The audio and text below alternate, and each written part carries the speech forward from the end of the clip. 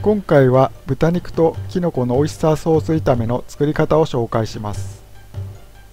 きのことオイスターソースの相性が抜群で高級感のある上品な味わいになります。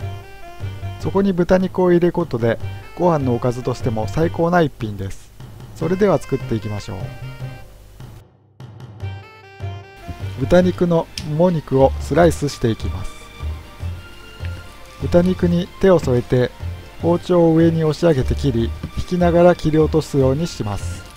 1枚ずつそぎ切りにしていきます。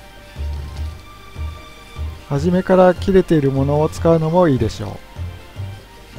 他に鶏肉や牛肉を使っても美味しくできます。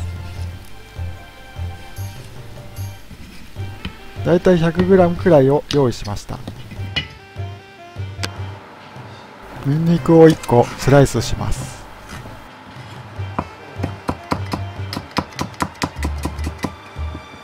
しめじは石突きの部分を切り落とし手でほぐしていきます。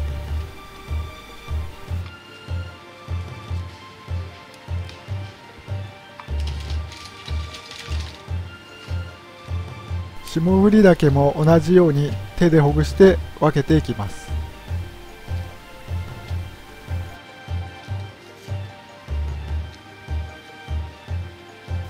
大きめのものは手で裂くようにして大きさを揃えます。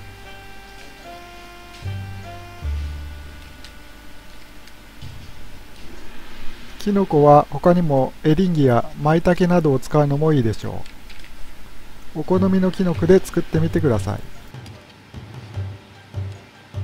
豚肉に下味をつけます。醤油、塩、味の素、黒胡椒を少量ずつ入れます。卵を入れ含ませるように揉み込み片栗粉をまぶします。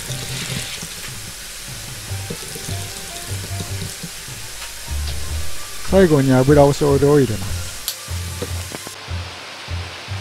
鍋の油を180度に温めきのこを揚げていきます。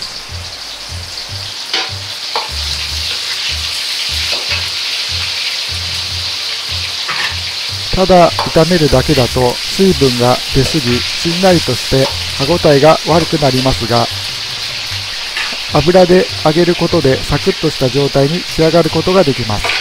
このひと手間が重要になります。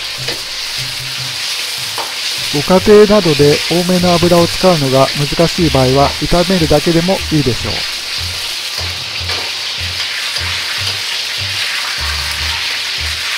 きのこが揚がったらしっかりと油を切っておきましょう。豚肉も油通ししていきます。油通しすることで旨味を閉じ込めて肉も柔らかく仕上がります。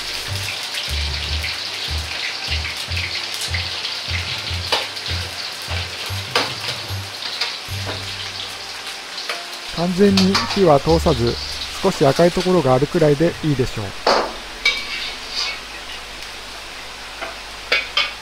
きのこと豚肉はこのくらいに火を通しておきます。鍋に少量の油を入れにんにくの香りが出るように炒めます。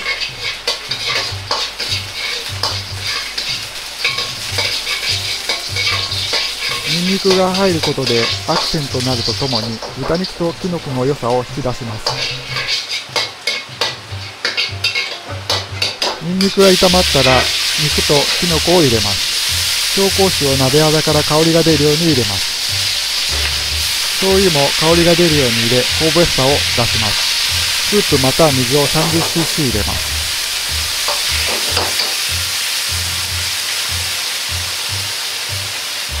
砂糖を大さじ1分の1入れ味の素を少量入れます。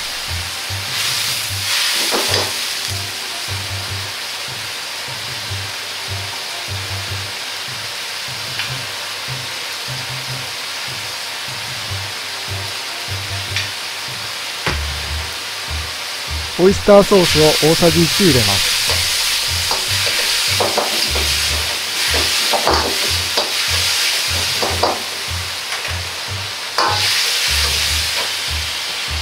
胡椒を振りかけます。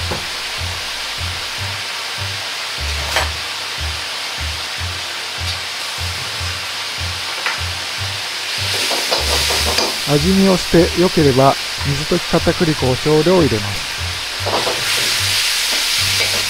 水溶き片栗粉を入れることでスープと具材が一体になります。仕上げにごま油を入れ香りをつけます。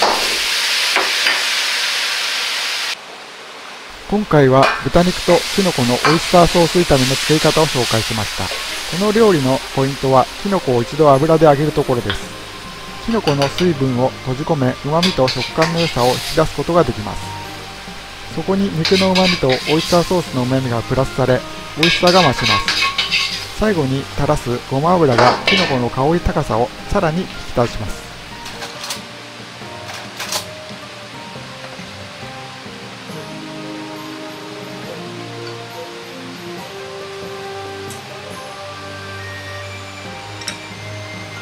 彩りに青ネギを散らして完成です。このチャンネルでは本格的な中華料理や簡単なまかない料理などを紹介しています。よかったら高評価とチャンネル登録をお願いします。リクエストなどがありましたらコメント欄にお願いします。それではまた次回よろしくお願いします。